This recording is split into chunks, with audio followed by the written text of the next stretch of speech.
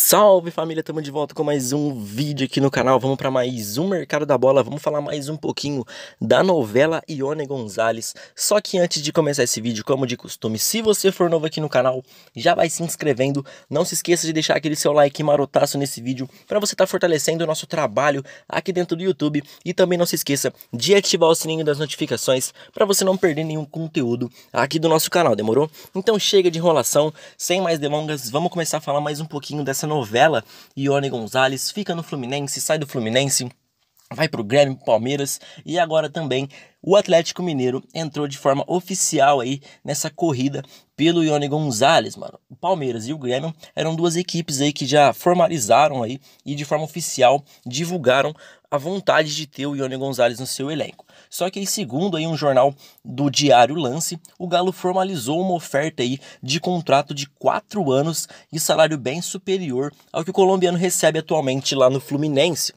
O atacante tem vínculo aí com o, o, tricolor das Laranjeiras até dezembro deste ano. E dessa forma ele está apto para assinar aí um pré-contrato com qualquer outro clube, mano. E Ione Gonzalez também já demonstrou aí a sua frustração com o Fluminense, quer deixar a equipe das Laranjeiras, quer sair do Fluminense e já tem três clubes brasileiros aí fortíssimos nessa disputa pelo Ione Gonzalez, mano. Só que nesse momento ainda não tem nada oficial, mas ele não decidiu de forma oficial para que clube que ele vai, mano, qual clube que ele vai jogar e onde que ele vai atuar, mano. O Atlético Mineiro tem aí uma peça fundamental para essa possível negociação, mano, que trata-se do Chara, que os dois jogaram juntos já há algum tempo, então eu acho que essa possível negociação com o Atlético Mineiro ficaria um pouquinho mais fácil por conta disso.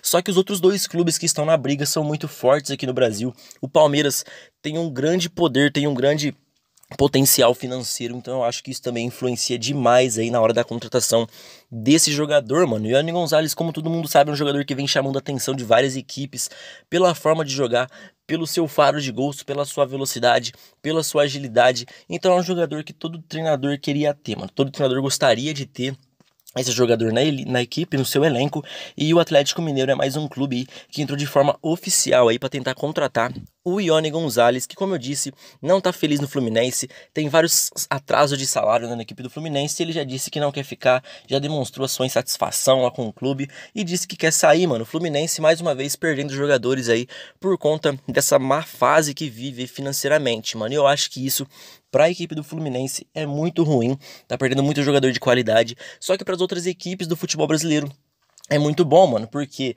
já foi o Luciano pro Grêmio. O Luciano já saiu um grande jogador é, saiu por conta disso, de atraso de salário, e foi jogar no Grêmio, mano. E agora o Grêmio de olho em mais um atacante da equipe do Fluminense. Ou seja, se o Fluminense não conseguisse resolver logo aí é, em relação a esses atrasos de salário, a tudo isso que está acontecendo com a equipe do Fluminense, vai ser muito difícil a equipe do Flusão segurar jogadores aí é, nas próximas temporadas, nos próximos meses aí, então eu acho que essa diretoria do Fluminense aí tem que ver certinho o que, está acontecendo, sentar, conversar e ver o que pode estar tá sendo feito, mano. Porque o Fluminense está perdendo muito jogador de qualidade. E mais uma vez aí, é, o Ione Gonzalez sendo mirado, especulado aí e de forma oficial é, vem chamando a atenção de outras equipes. Então o Atlético Mineiro é mais uma equipe aí que entrou na briga para contratar o Ione Gonzalez junto com o Grêmio e com o Palmeiras. O vídeo vai encerrando por aqui, espero que tenham curtido. Se você curtiu, não se esqueça de deixar aquele seu like no vídeo, isso ajuda bastante no nosso fortalecimento,